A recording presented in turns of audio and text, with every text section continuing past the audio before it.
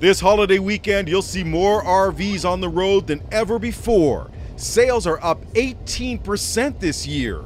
Unfortunately, you'll also likely see some of this. Oh, what happened? We took out a gas pump in the back in the back of our rig. Yeah, it was twenty-six thousand dollars in repairs just for our rig, and I think five thousand for the gas pump.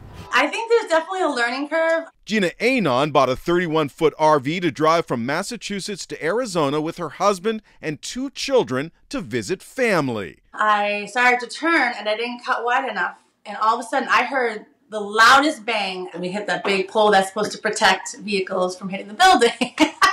This is amazing. John Buck manages Premier Luxury RV in Middlesex, New Jersey.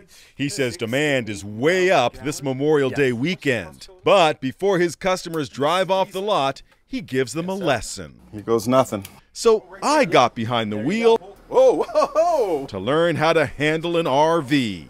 What's the biggest mistake people make when they first get behind the wheel of something this big? It would be the turns, not turning wide enough. Tell me when I should turn. You start now? Start now? Yep. And hit it? Just hit it? Yep, keep going. Just keep going? All right, I don't want to hit that fire hydrant. You're right. Wow!